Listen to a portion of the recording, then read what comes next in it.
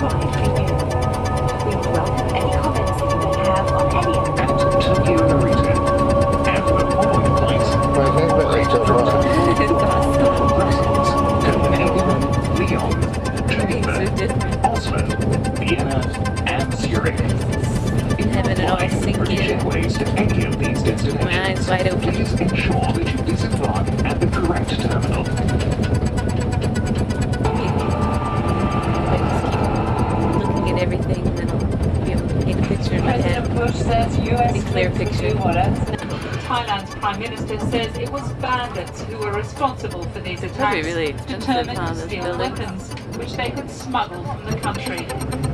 But when the situation calls for decisive action, the government is not hesitant to uh, retaliate uh, on that ground.